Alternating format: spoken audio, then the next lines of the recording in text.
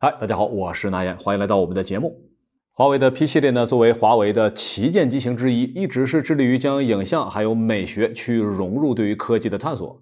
那从之前的 P 九系列开始啊，就迈向高端啊，直接呢和当时的国际巨头硬刚。那这么多年过去了啊，P 系列呢在外观以及专业影像方面呢，都在进行不断的追求和探索。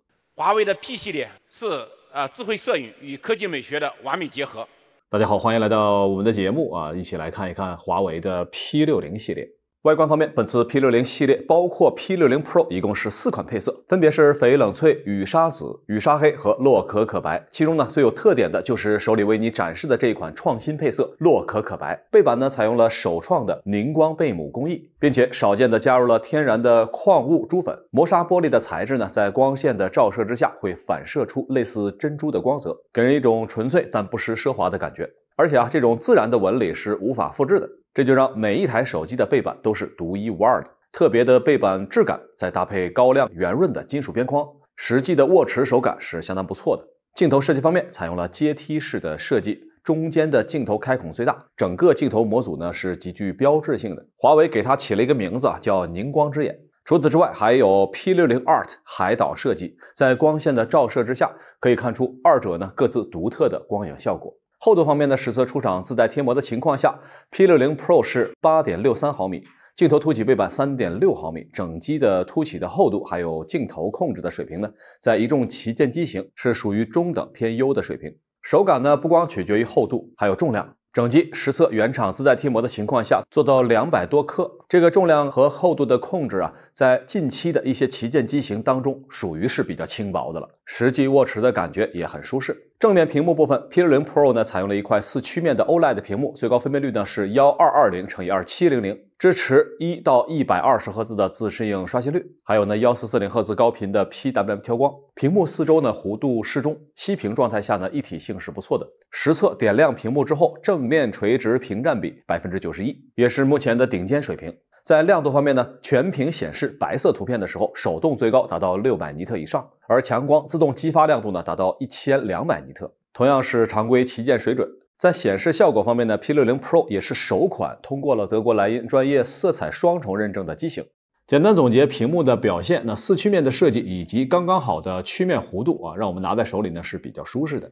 包括它的耐用程度啊，你也不用担心。昆仑玻璃啊，可以让屏幕有超过普通面板十倍的韧性，来保护你的屏幕。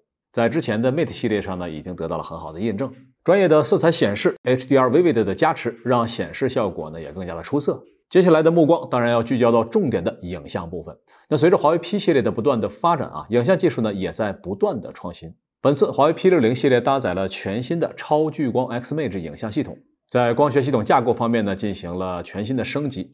打开拍照界面，单手从底部向上滑动，就可以轻松的调出之前顶部常用的拍摄选项。整体交互呢更加适合单手操作。另外，在滑动变焦的时候，焦段显示呢也变成了环状，有一点类似单反相机的变焦环。滑动的时候啊，机身有震动反馈，操作上也很像专业相机。影像风格方面，华为自研的 Xmage 影像风格呢是三个选项。默认状态下，原色有一种接近自然、不加修饰的风格，鲜艳，看起来呢饱和度更高，风格比较浓烈。最后一种明快啊，风格介于两者之间，看起来呢是更加透亮，层次分明。如果呢还是觉得差别不大啊，我们再切换一个场景，大家可以感受一下。再看硬件方面，超聚光夜视主摄啊，配备了四千八百万像素。同时呢，华为对于内部的光学系统也进行了重新的设计。f 一点四的业界超大物理光圈啊，可以实现一点四到四点零的十档调节。实际拍摄的过程当中呢，你可以看到物理可变光圈能够实现非常自然的虚化过渡。相比较传统的单纯 AI 抠像啊，这次呢，整体的虚化效果更加趋近于自然和真实。物理可变光圈呢，不但可以面对不同的拍摄场景啊。还可以智能匹配合适的光圈值，即便是光线一般的情况下呢，面对不同的拍摄主体，也能有非常不错的虚化效果以及成片质量。超聚光主摄结合大光圈、高透光镜群，还有 RYYB 的超感光传感器，可以实现光学系统全链路的净光量升级。在这组极暗环境下，华为 P60 Pro 呢更强的感光能力啊，可以保证画面更亮的同时，清晰度和色彩也相对更为准确。对比下来，二者的花瓣的细节的部分呢，华为也能有充分的色彩还原。在普通光线下呢，华为这边拍摄出的主摄样张色彩同样更为通透一点，金属原本的色彩呢也得到了还原。放大再来看一下椅子啊，两者的差别更加明显了。华为处理的更为彻底啊，椅子和背景的层次分明，清晰度呢也更好一点。另一枚长焦镜头啊，采用了四千八百万主摄级的超聚光夜视长焦，支持三点五倍光学变焦以及最大一百倍的数字变焦。那实测呢？长焦样张当中，很明显啊，华为这边的第一观感还是比较通透的。二点一的大光圈，外加 RYB 的传感器，使得呢华为 P 六零有更多的进光量。建筑本体呢，在光线的照射下明暗分明。再放大看细节，差异呢也是一目了然。再看一组夜景，三点五倍的长焦样张，同样啊，华为这边的感光能力很强啊。建筑本体的灯光呢，不仅没有过曝，暗处的细节呢也是清晰可见，特别是在屋顶的部分。放大对比，两者的差别呢很明显。再看一组极暗环境下，华为这边的画面呢是比较纯净的，花朵原有的颜色呢可以充分的还原。从旁边色卡呢，同样可以看出二者的区别是比较明显的。当然还是得益于 f 二点一的超大光圈以及 RYB 传感器的感光优势。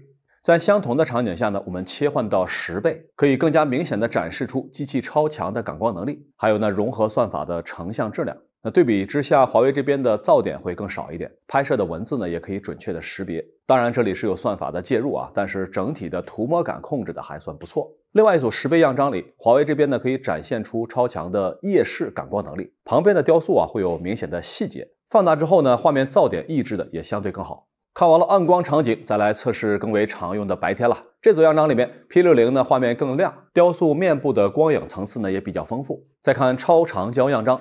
根据录制画面，你可以看到我们和拍摄物体之间的距离。接着呢，将聚焦段拉至一百倍进行拍摄。得益于首款长焦三轴传感器位移防抖，整个的拍摄过程呢是非常顺利的。即便是略有抖动的情况下，我们手持拍摄也可以准确的捕捉到物体。那对比友商的成像效果啊，那优势还是比较明显的。这枚超聚光夜视长焦镜头啊，除了长焦端超强的成像素质，还具备长焦端的微距功能。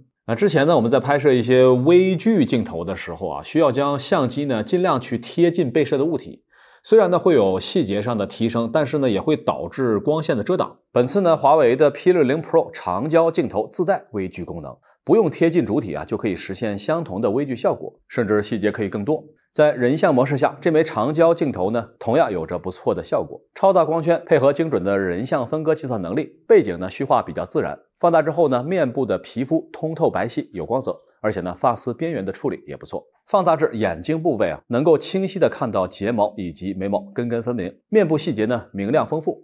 从衣服边缘呢也能看出，华为这边的抠像能力是比较强的。毛衣的绒毛呢是清晰立体。最后呢，我们再来看 Pro 版本这枚一千三百万像素的超广角，广角的样张对比友商，你更喜欢哪一组呢？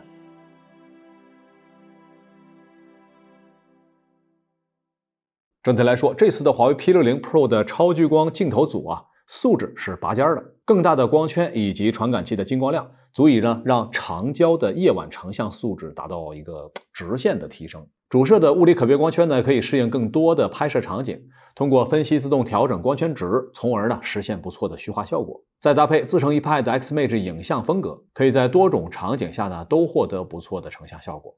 系统部分啊，之前咱们已经为大家详细介绍过很多的场景联动，多设备下呢鸿蒙系统超强的分布式能力。本次啊，鸿蒙系统常用常新的智慧体验同样得到了升级，更精致、更便捷、更安全，是这一次鸿蒙系统的三点一的升级重点。其中呢，新增的一镜到底啊，AOD 息屏显示，从锁屏到亮屏再到桌面，一整个连贯丝滑的动画体验以及视觉享受啊，让你爱不释手。显示内容还是支持自定义的。此外，还有 3D 天气息屏等等，可以将室外天气状况以 3D 的形式啊，实时展示在你的锁屏界面里。而之前被称为黑科技的北斗卫星消息啊，本次呢也迎来了一个重要的升级，就是双向收发。比如，当你在没有网络也没有信号的情况下啊，还是能够通过发送北斗卫星消息进行求助，并且在这个条件下还支持接收对方回复的消息。点击接收消息之后啊，对准卫星的方向就可以收到对方的回复了。这样，即便在完全没有任何网络也没信号的情况下啊，还是可以在户外和外界保持互联互通。而作为被求助方，只要呢是有网络连接，不管是否是华为的手机啊，都是可以接收到求助者的北斗卫星消息进行回复，这样就极大增加了遇到危险被解救的可能性，在关键时刻是非常重要的。还是那句话，并不希望你用这个功能，但只要用一次就值回票价了。性能部分呢，华为的 P60 Pro 啊是搭载了高通骁龙的八 Plus 阵一 4G 处理器。那至于为什么是这款处理器，大家可以把它的原因打在弹幕上。那性能部分的话，我们过去这一年多应该已经测试了十几款这个处理器的产品了，所以呢，本期就不再过多赘述，我们直接来看一下它在《原神》游戏当中的表现。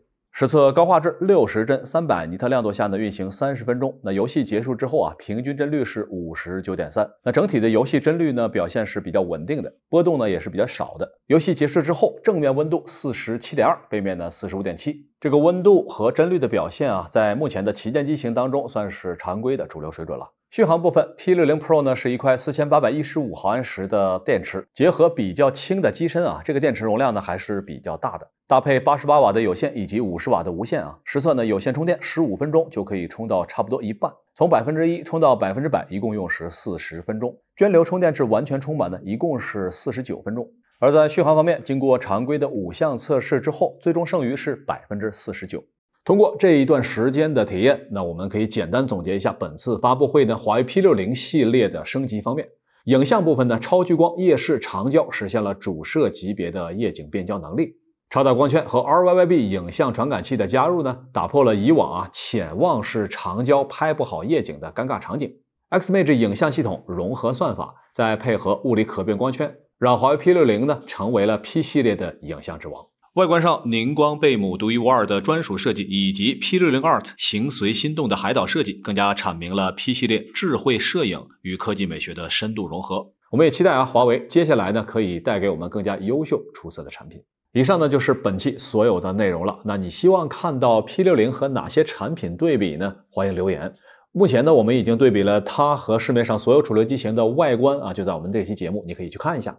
另外，本次发布会上发布的其他的，包括手表、平板、耳机等等啊，也都在我们的频道当中，欢迎你来观看。我是大岩，咱们下期节目再见。